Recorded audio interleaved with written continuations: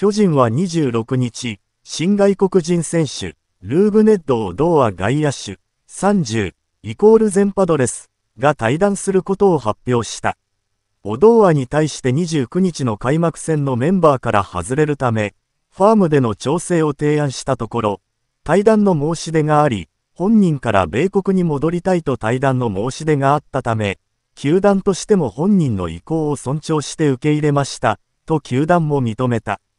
対談の正式な手続きは後日行うという。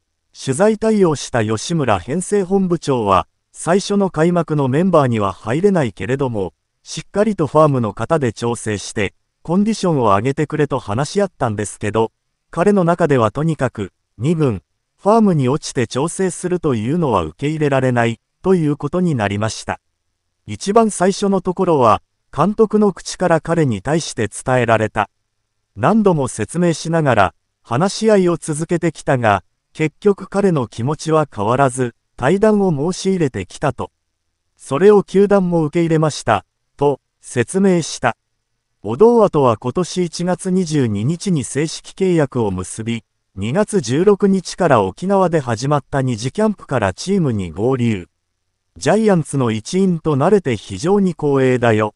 チームの優勝、そして日本一のためにこれから頑張っていきたいね。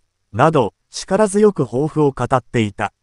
MLB178 本塁打の大砲として期待されたが、オープン戦では環境の違いからか、なかなか結果を残すことができなかった。12試合の出場で、34打数6安打で打率176。0本塁打、0打点だった。最後の実戦となった24日の楽天戦、東京ドームは、6番、右翼でスタメン出場。2回の第1打席に投手内野安打を放ったが、3打数1安打で途中交代していた。チームは25日の休養日を経て、この日から全体練習を再開。